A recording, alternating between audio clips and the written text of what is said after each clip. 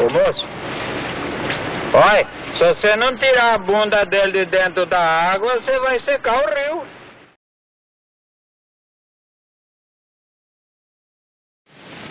Tá dando aí, meu filho? Não, tô esperando o senhor para abençoar o rio. Agora não tem mais peixe. Antigamente, nós precisávamos de uma mistura, seu vigário. Nós vinha no rio e tava armado. Agora, é, envenenaram tudo. É a civilização, meu filho, que em parte é inimiga do homem. Ah, Raimundo, Jesus precisa voltar. E ele voltará, meu filho. Ah, não volta não, seu padre. Eu tive conversando com a espírita minha falecida essa noite e ela me contou uma conversa que ela escutou lá no céu. Diz que tava Jesus, São Pedro e São José.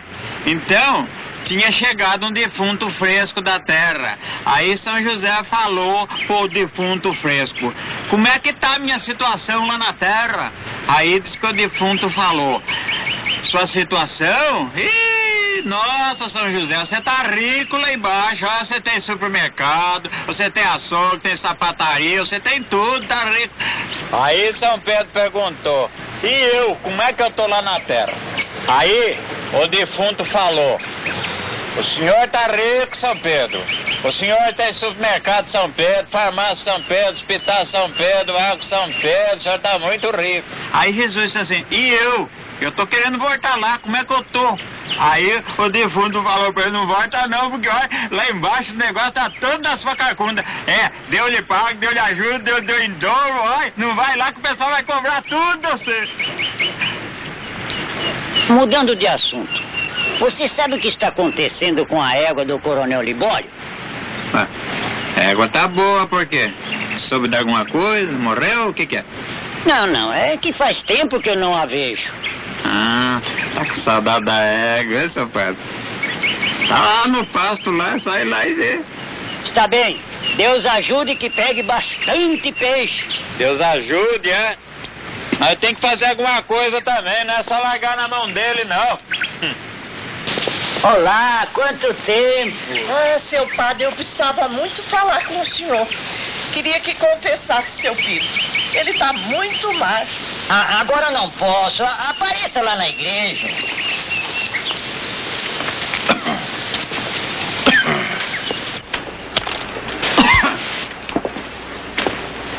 Oi, vocês vieram pescar também? O rio tá ruim, não tá nem beliscando hoje. Não, nós não veio pescar. O seu Pinto é que quer falar com você. Tá melhorado, né? Tá até corado. Ah, tá, tá de olheira já, quem viu você vê agora, hein? Tá nada. Tá a mesma coisa. Uma coisa nada. Seu pinto tava de cama, agora tá em pé, tá andando. É, não tô bom não. Muita fraqueza. Ah, dá graças a Deus, minha ação. Ah, eu acho que Deus inteiro já esqueceu de nós. Ah, não fala bobagem, Deus não esquece ninguém, Deus é muito bom. A senhora até tá com sorte. Aí, ele tava de cama, seu pinto tava lá largado, agora seu pinto já levantou. É só a senhora dar uns remedinhos pra ele, que é pra ele frutificar. Ele tá bom, a cara dele. Não tô bom não. O doutor disse que eu só tenho uma semana de vida. Como você sempre foi nosso amigo, eu quero dar em ação pra você. O quê? Você quer dar sua mulher pra mim? E o que, que eu vou fazer com isso? Ah, ela é uma boa mulher. Eu não moro sossegado se ela não ficar amparada. Não, não, de jeito nenhum. Vai procurar algum parente dela. Ela não tem, você que precisa tomar conta dela. Você vai tomar conta de mim, Raimundo? Eu não vou tomar conta de ninguém, porque tomara eu cuidar da minha vida. E depois tá tudo errado isso aqui. A senhora tem que aguentar com o seu pinto até a hora da morte.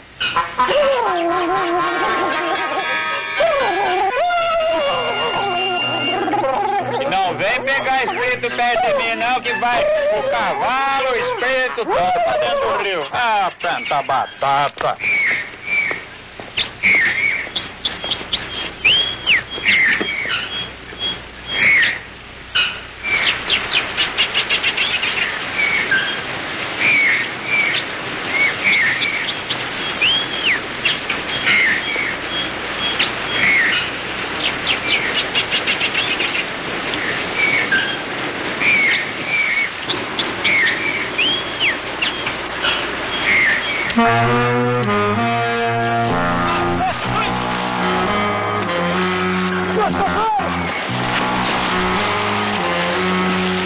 Ai, tem um homem morrendo afogado lá, gente. Virgem Maria!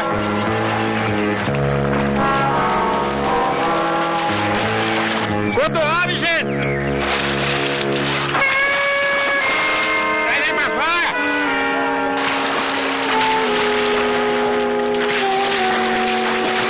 Levanta a cabeça dele da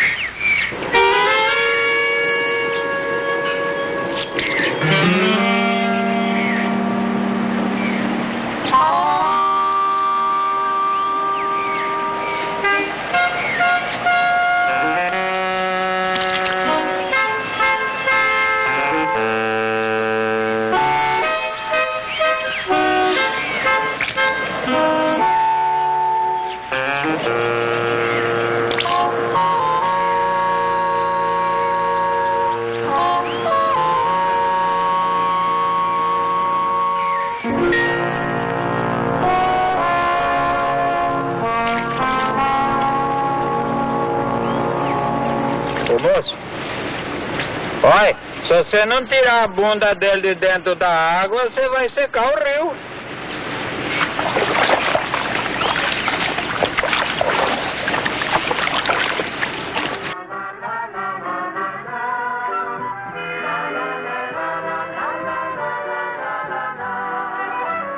É de manhã, vou trabalhar